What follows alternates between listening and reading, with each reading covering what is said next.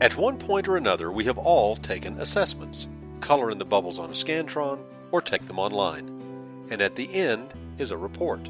Because of that experience, we all feel as if we know how they work, and most of us assume that they are all the same. The truth is, there are actually three types of assessments.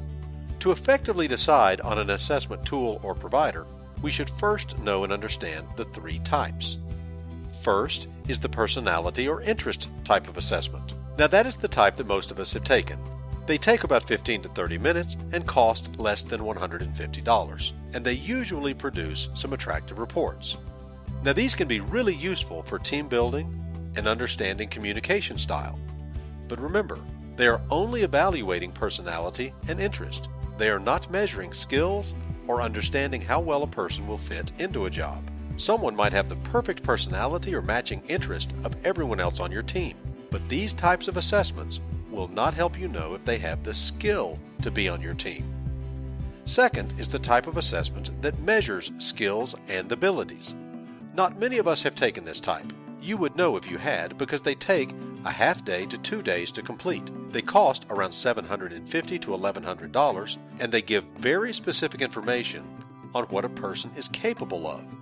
These are great to understand if someone has the particular skill or physical ability to do the job. However, they give no indication of how well the person will fit in with the others who are already doing this job. So, with that, we may have found someone with all of the skill they need to do the job, they just don't have any interest. And we will not discover that through these types of assessments. Third is the whole person assessment. There is a type of whole person assessment that is typically reserved for executive fulfillment. Very few have taken these. They take one to three weeks to complete because they are very interview intensive, and they start around $2,500. These are great assessments, and what makes them so effective is that they consider personality, interest, skills, and abilities, and usually how a person fits into a specific job. The only downside is that for most job titles, they are just overkill. At PeopleRight, we developed a way to offer an assessment tool with the capabilities of a whole person assessment at a fraction of the cost and time. So that makes it practical to use for all job types.